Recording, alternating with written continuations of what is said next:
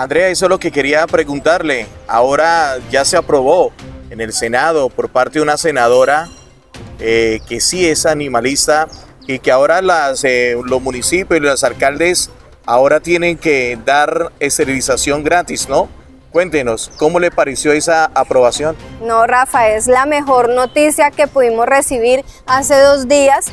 Eh, se aprobó en la Cámara de Representantes un proyecto de ley donde se dice que esterilizar salva.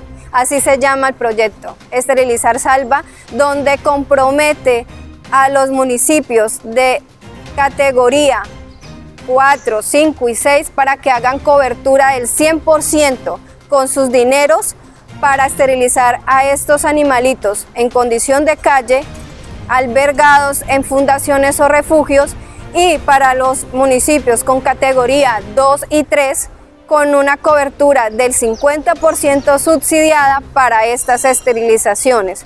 Solo queda esperar que hagan los ajustes de reglamentación, cómo se va a destinar todos estos recursos. Sabemos también que hay dentro del proyecto de ley, dice que quien va a manejar esto es el Ministerio del Medio Ambiente, entonces esperemos que ya sea firma del presidente y esto ya esté eh, rigiendo a partir del año entrante y así, Rafa, podemos controlar la sobrepoblación, así va a disminuir mucho animalito abandonado, mucho maltrato, mucho animalito que botan a las quebradas, a los ríos, en bolsas de basura, en caja.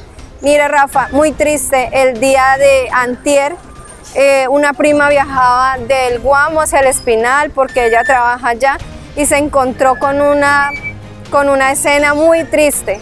Botaron unos bebés que no superan los dos meses de edad y unos estripaditos ahí en la carretera y otra afortunadamente viva al pie de ellos esperando ser rescatada y la tenemos en, nuestro, en nuestra casa. Me dio tanto pesar que no quise llegar para el refugio, entonces la tengo en mi casa, allá dándole todo el amor para que ella pueda encontrar un, hogar digno y un hogar que la ame.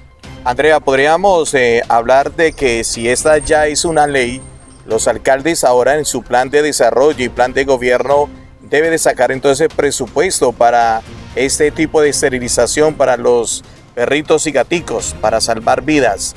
En, este, en esta administración de Curso Gutiérrez, pues ya en este año ya no se va a poder hacer. Tocaría esperar entonces en el 2025. Entonces, ahora sí los alcaldes no tienen por qué sacar excusas sobre dicho que no alcanzó el presupuesto, es que se tocó invertirlo en tal otra situación. ¿Cómo pensaría usted eso, Andreita?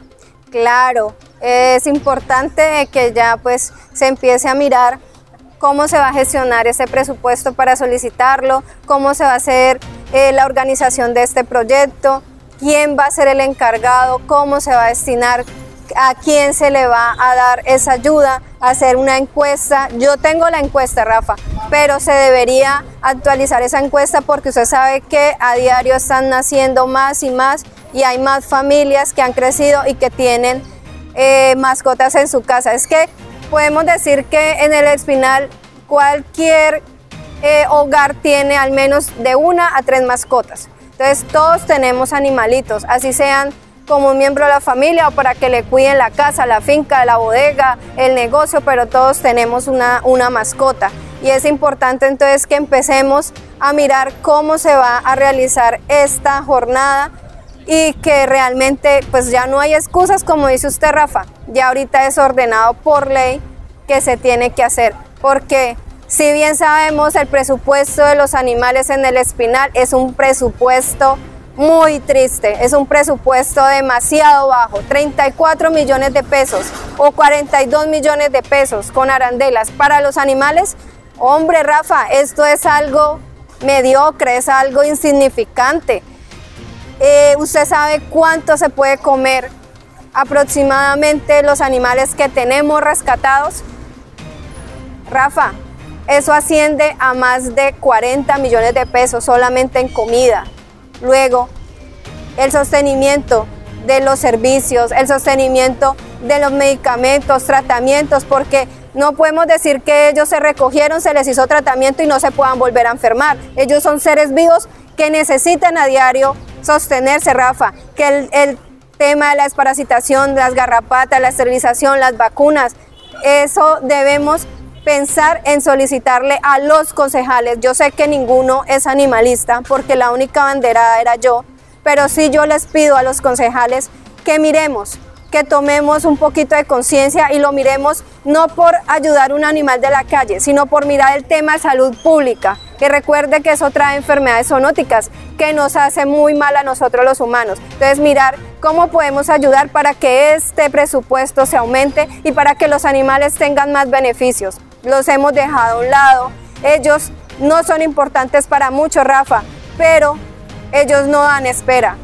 Cualquier otro tema se puede esperar, una edificación puede esperar a que la arreglen, a que hagan un contrato, los animales no.